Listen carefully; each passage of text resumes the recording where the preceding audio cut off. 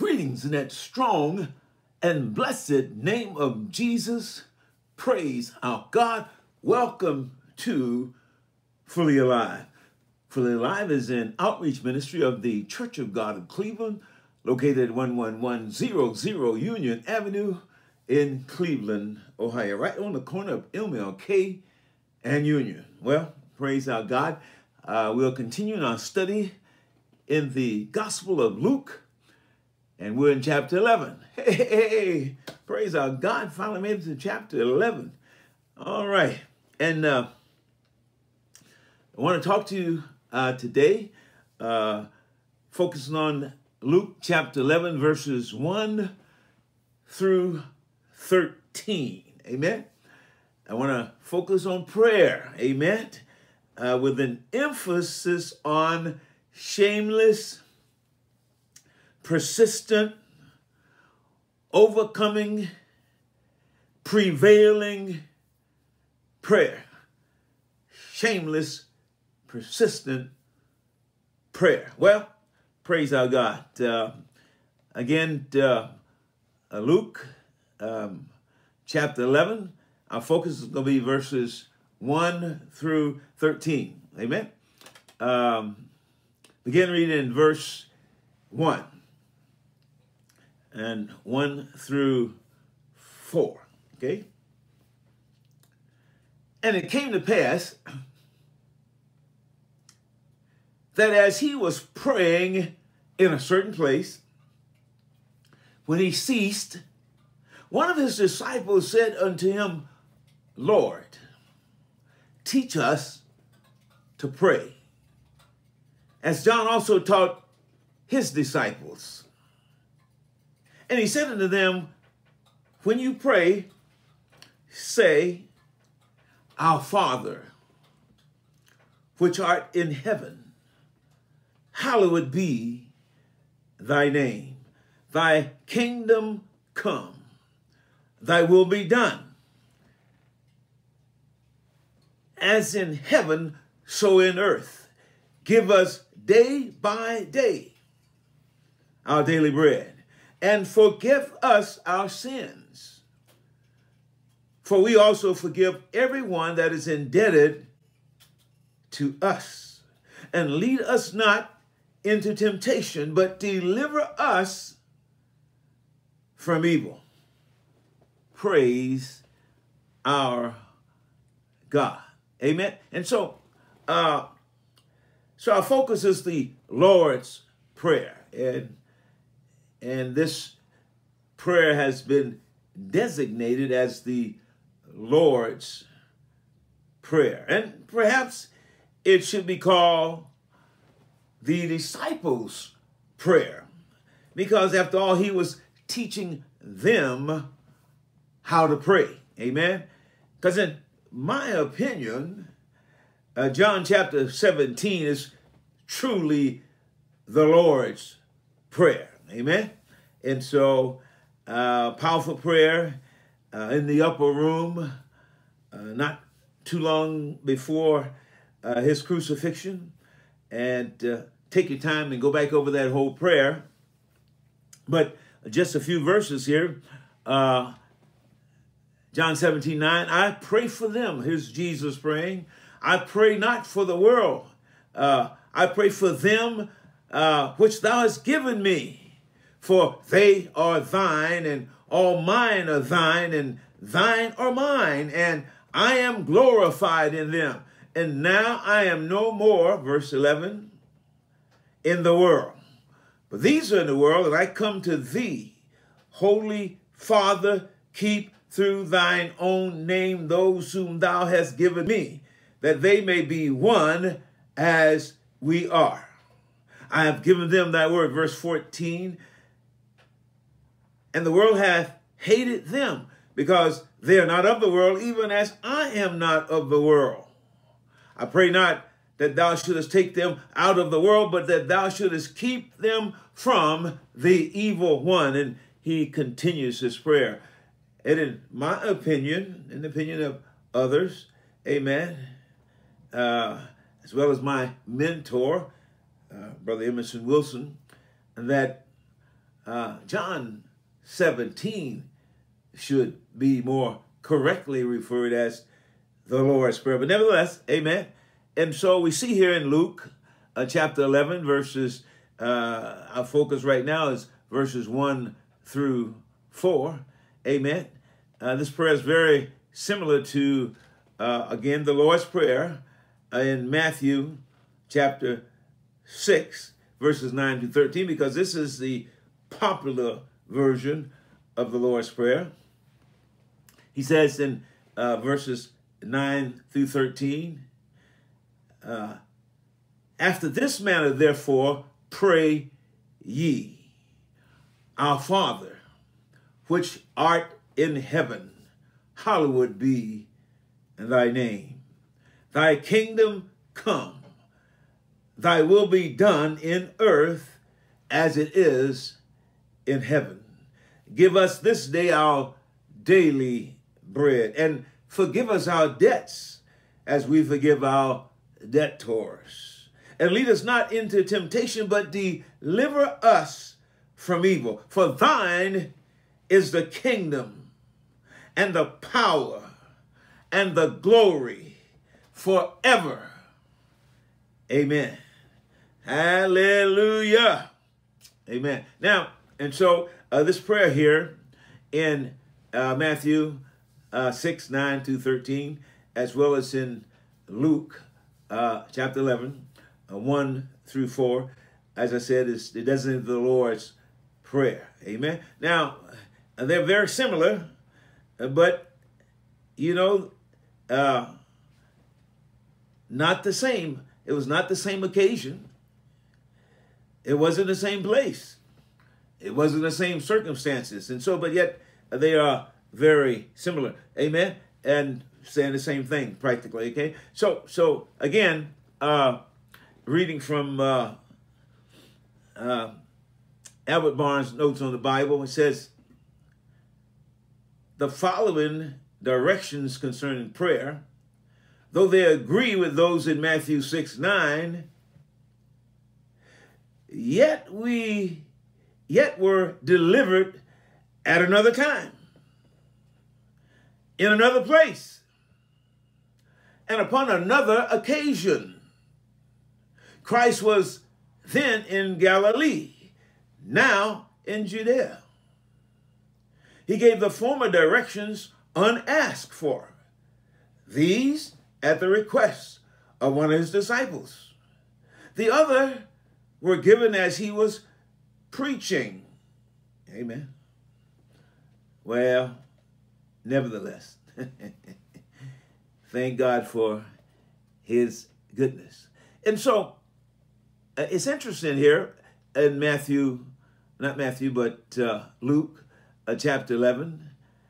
Uh, it says, verse 1 And it came to pass that as he was praying in a certain place, when he ceased, one of his disciples said unto him, Lord, teach us to pray, as John also taught his disciples. Amen. Lord, teach us to pray. They saw a relationship in the prayer life of Jesus and the power that he operated in. They saw the high place that Jesus had placed on a life of prayer. They saw the quality time uh, in the prayer time, uh, how Jesus devoted quality time to prayer. They saw a relationship between this quality time that Jesus spent in prayer and the relationship between Jesus and his Father. They wanted that relationship with Jehovah God. Uh, they wanted that kind of power and influence that they saw operating in the life of Jesus. And as they observed him, they knew that it was a, a relationship to prayer, to power, to that relationship with Father. Through observation, they knew uh, that they needed instruction on how to really pray and enter into God's presence. Oh, yeah. Oh, yeah. Praise our God. Amen. Lord, teach us to pray like you pray. My God, teach us to uh, enter into the Father's presence. And they watched him, they heard him. Hallelujah. Listen, listen. Praise our God. Um, as, as he was praying, amen. Yeah, Luke has taken notice of our Savior's praying often.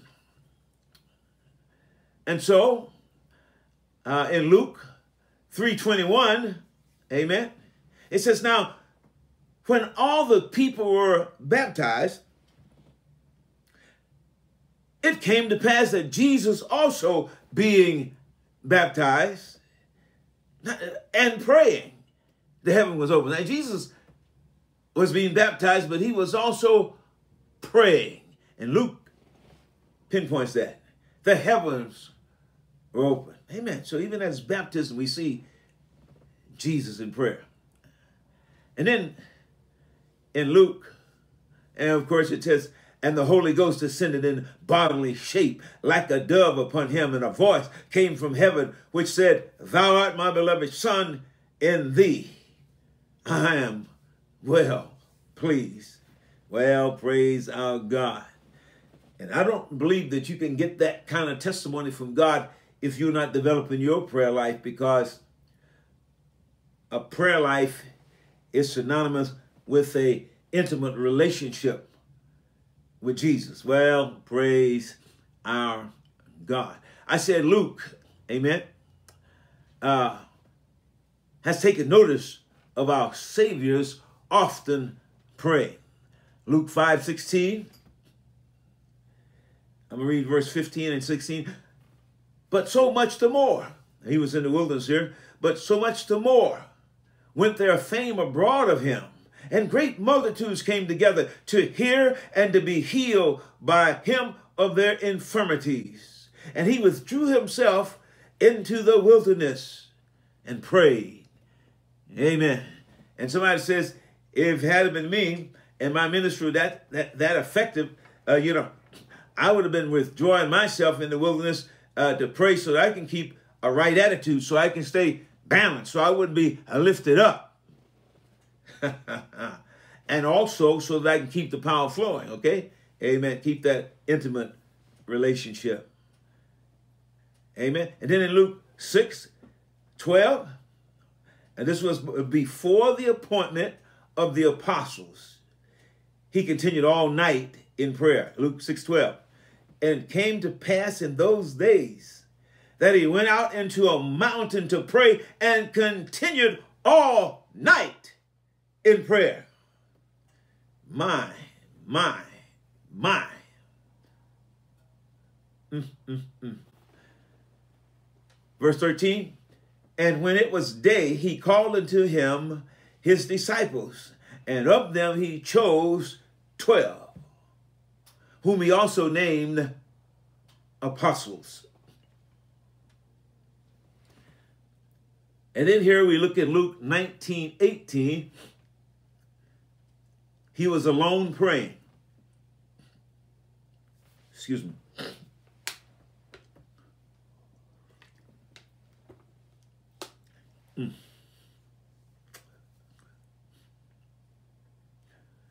Luke 9 18, rather. And it came to pass as he was alone praying, his disciples were with him. And he asked them, saying, whom say the people that I am.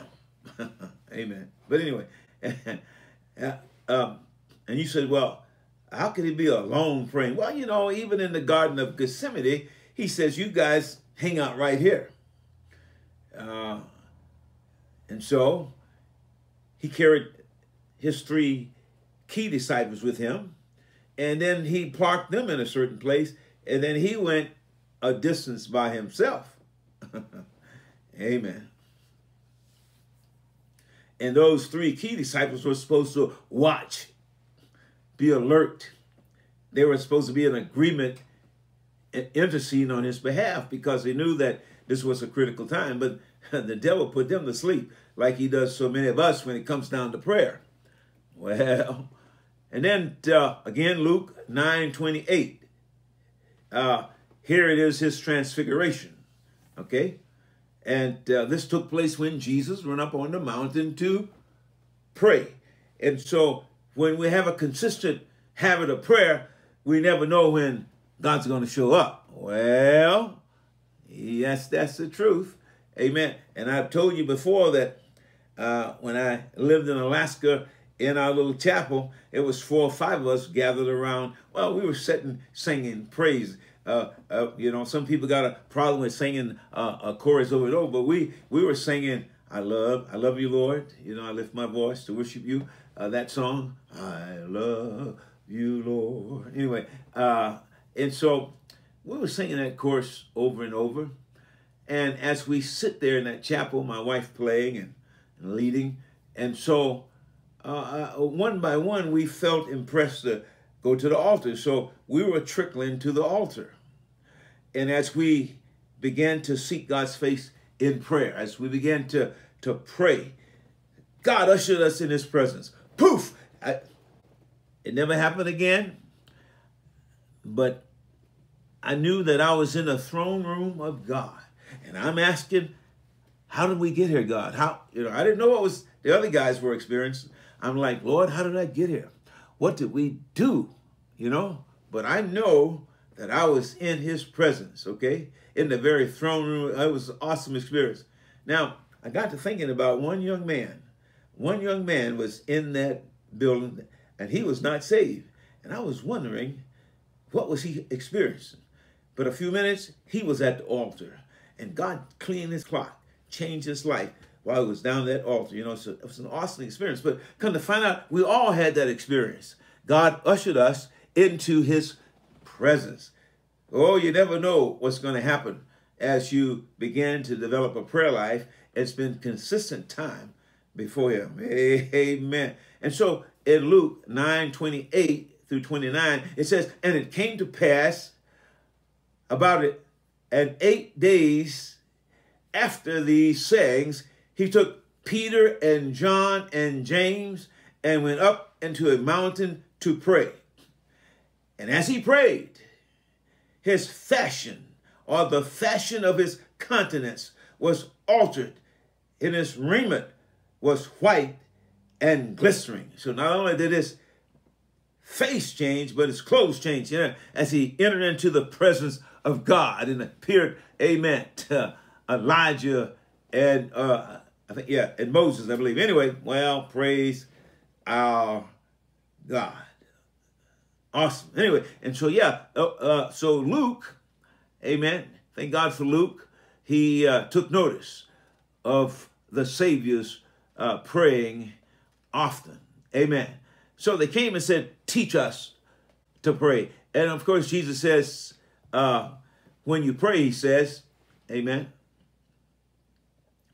this is what you say. And obviously this was a pattern and it's, and it's deeper than we're, we're trying to unfold here at all.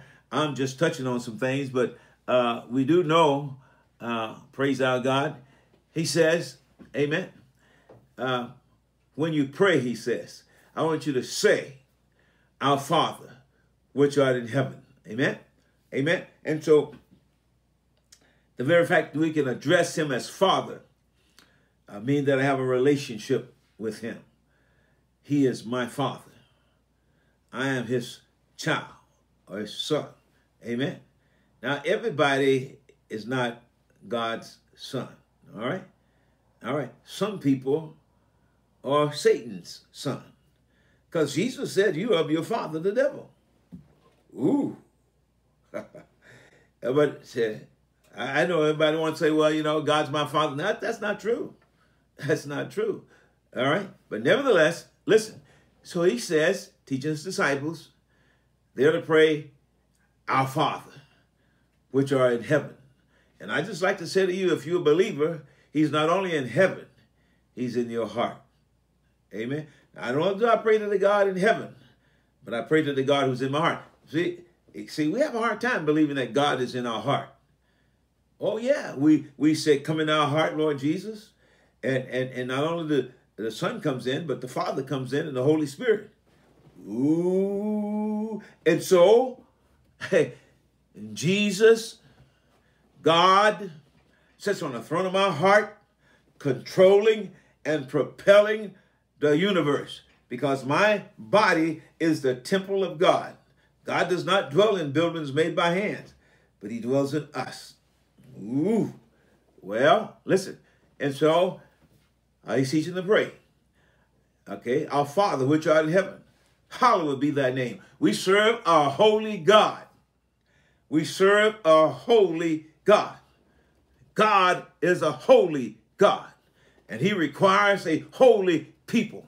And that's why the Bible tells us that the plan that God had before he made the world, before, the, before he laid the foundation of the world, according to Ephesians uh, chapter 1, amen, verses 1 through 6, amen, his plan in Christ was that we be holy and without blame before him in love. He's a holy God. He requires a holy people. And in Christ, uh, God forgives me of my sin. I become the righteousness of Jesus Christ. Amen him who knew no sin became sin, that I might be made the righteousness of God in him. And, and God's righteousness give me the right to come into the presence of God without a sense of shame or, or guilt or unworthiness because the blood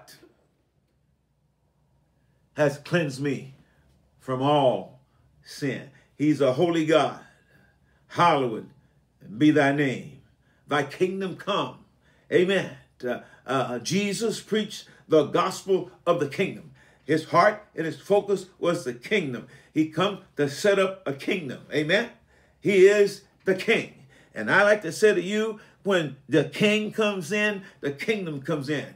And you must receive Jesus into your heart and life as king. You must give him the total rule of your life. Amen. When you come to a place where you want to give up the right to run your life independently of God and you surrender to his lordship, absolute surrender, the king comes in. The kingdom comes in. well, praise our God. Hallelujah. Amen. Thy will be done. And when the king come in, when the kingdom comes in, his will will be done because your purpose in life is to obey him. Amen. The Bible says in Colossians chapter 1, we were translated out of the kingdom of darkness into the kingdom of his son. Amen. Well, praise our God. Amen. Thy will be done as in heaven, so in earth. Amen. And for sure in this earthen vessel. Amen. Talked about your needs. Give us this day by day our daily bread. God wants to meet your needs. And that's why he says in Matthew 6, don't be worrying about what you put on, what you're going to eat. Listen, if you seek first the kingdom of God, he'll make sure all these other things are added, okay? Let the king come in. Give up the right to run your life independently of God.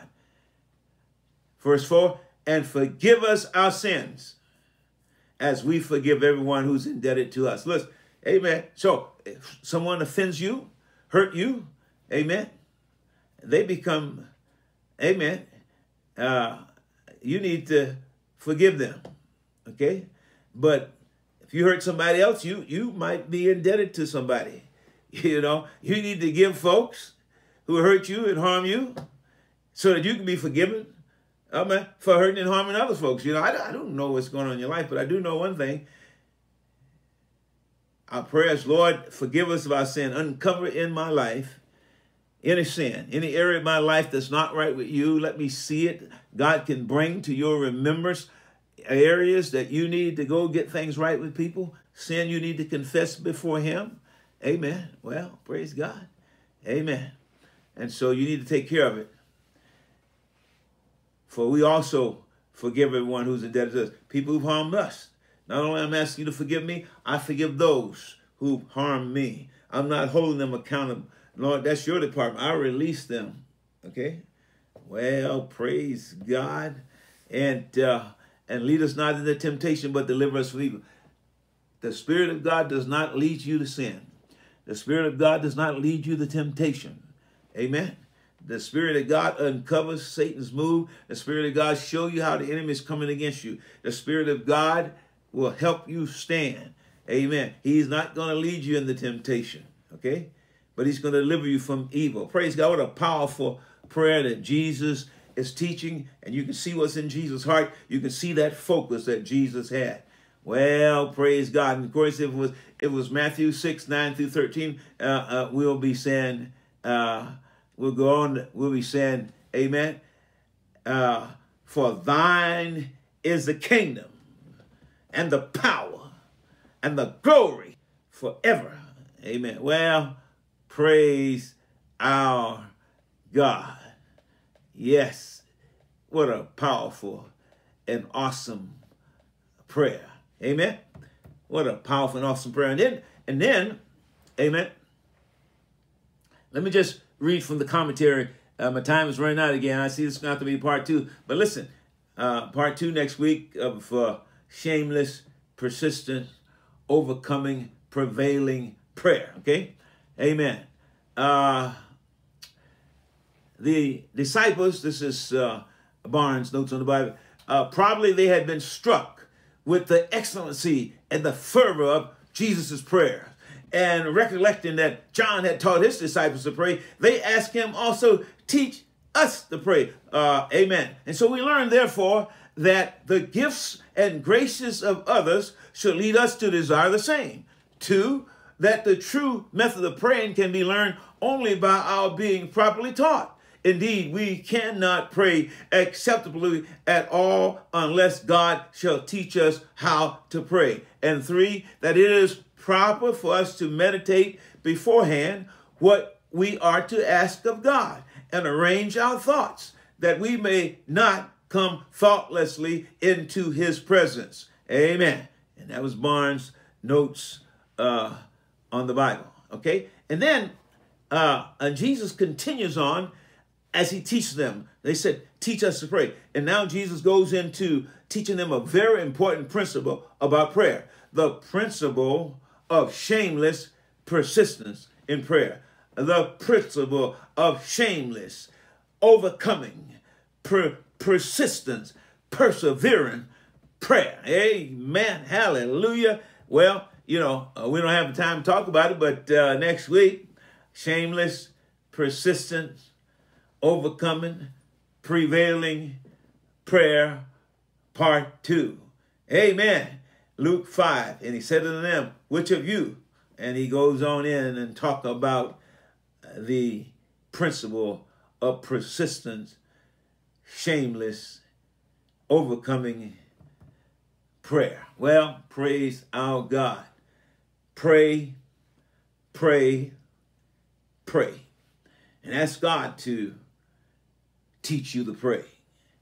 May the Lord bless you, smile on you, shed his countenance upon you, and give you peace. In the name of Jesus, amen.